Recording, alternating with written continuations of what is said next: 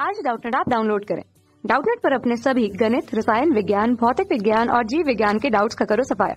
बस प्रश्न की फ़ोटो खींचो, एक ही प्रश्न को क्रॉप करो और तुरंत वीडियो सोल्यूशन पाओ।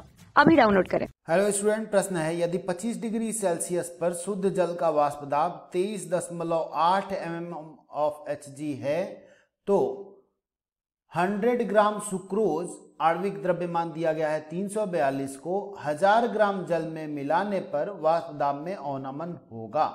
ठीक है? तो हम लोगों से पूछा क्या गया? वाष्प दाब में अवनमन। अब वाष्प दाब में अवनमन का सूत्र क्या होता है? तो विलायक का वाष्प दाब शुद्ध अवस्था में ऋण, विलयन का वाष्प दाब बटा विलायक का वाष्प दाब ठीक है? शुद्ध अवस्था में बराबर क्या होता है?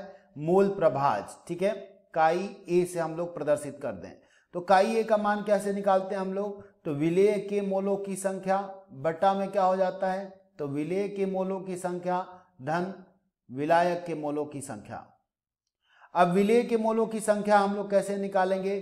तो दिया गया द्रव्यमान बटा क्या होता है? आणविक द्रव्यमान। दिया गया द्रव्यमान हमारे पास कितना है? 100 ग्राम। ठीक है? तो 100 बटा क्या हो जाएगा? 342 ठीक है? तो इसको हम लोग ज्ञात कर सकते हैं। तो 100 बटा 342 ये कितना आ जाएगा हम लोगों के पास?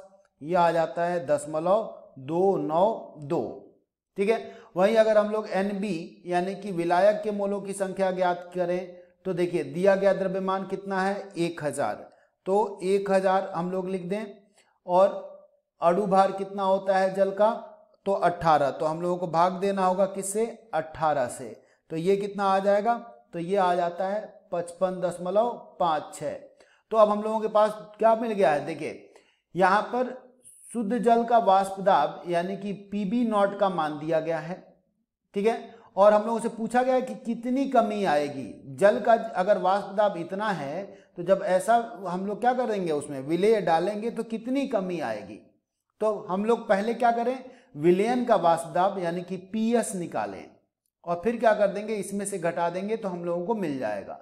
तो हम लोग निकालेंगे पी एस तो पहले तो मूल प्रभाज हम लोग निकाल लें। मूल प्रभाज के लिए क्या हो जाएगा? काई ए का मान क्या है हम लोगों के पास? तो दशमलव दो नौ दो बटे में क्या आ जाएगा? तो दशमलव दो नौ दो आ जाएगा, ठीक है? और क्या हो जाएगा? धन। तो विलायक का वाष्पदाब है हम लोगों के पास, है ना? तो पचपन दशमलव पाँच छ हम लोग कर देंगे, ठीक है? अब इसके बाद हम लोगों को क्या करना पड़ेगा? इसको हम लोग अगर ज्ञात करेंगे तो ये कितना आ जाता है? ये हम लोगों का आ जाएगा विलय के मोलों की संख्या बटा विलियन की मोलों की संख्या करने पर पाँच दशमलव दो दो आठ गुड़े दस पर घात ऋण तीन। तो ये हम लोगों को मूल प्रभाज मिल गया है। अब ये मान हम लोगों को मिल गया। अब इसमें हम लोग रखें। तो देखिए, विलायक का शुद्ध अवस्था में वास्तव हम लोगों को यानी कि पीबी नॉट का मान तेईस दशमलव आठ दिया गया है। तो हम लोग विलयन का निकालेंगे। तो ये हो गया तेईस दशमलव आठ ऋण, विलयन का वाष्प दाब बट्टे में क्या आ जाएगा? तो तेईस दशमलव आठ बराबर पाँच दशमलव दो दो आठ गुड़े दस पर घात ऋण तीन। ठीक है? अब यहाँ से अगर हम लोग करेंगे तो ये इधर क्या हो जाएगा? गुड़े में चला जाएगा। तो हम लोग अगर इसको गड़ा कर दें तेईस दशमलव आठ, ठीक है? तो ये क्या हो गया? तेईस दशमलव आठ ऋण पी एस बराबर ये गुड़ा में आएगा तो तेईस दशमलव आठ गुड़े पाँच दशमलव दो दो आठ गुड़े दस पर घात ऋण तीन, ठीक है? अब यहाँ से अगर हम लोग इसको ज्ञात करेंगे तो ये कितना आ जाता है हम लोग के पास? दशमलव एक दो चार चार, ठीक है?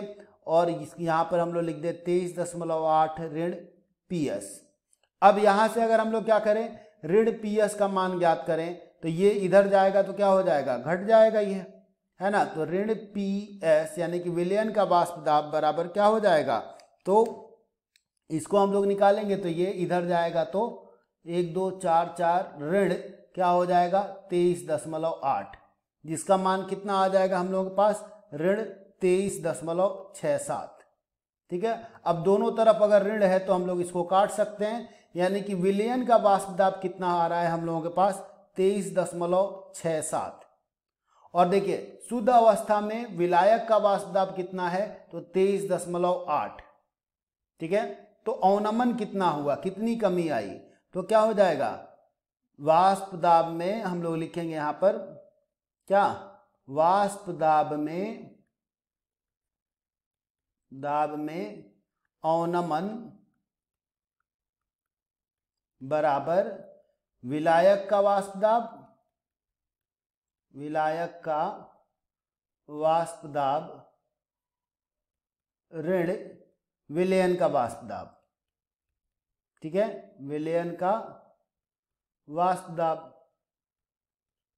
तो देखिए, हम लोगों के पास क्या दिया गया है? विलायक का वाष्प दाब पहले से ही हम लोगों के पास तेईस दशमलव आठ था ही तो उसको हम लोग रख दें तो ये हो जाएगा तेईस दशमलव आठ। ठीक है?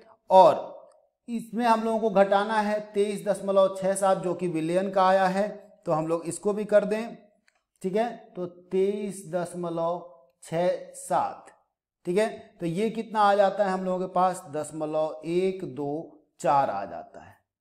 यानी कि इतना वाष्प में अवनमन आएगा। अब देखिए, दशमलव एक दो चार चार दो ऐसे करके आता है तो यानी कि दशमलव एक दो पाँच हम लोग चुन लेंगे, ठीक है? तो दिए गए विकल्पों में से हम लोगों का कौन सा सही हो जाएगा? दूसरा विकल्प। इसी वजह से हम लोग यहाँ पर उत्तर लिख दें, दूसरा विकल्प, ठीक है? धन्यवाद। कक्षा छठी से बारहवीं से लेकर NEET I I T JEE वो एडवांस के लेवल तक, एक करोड़ से ज़्यादा छात्रों का भरोसा। आज ही डाउनलोड करें डाउट नेट ऐप या व्हाट्सअप करें अपने सारे डाउट्स आठ चार सौ चार सौ चार सौ पर।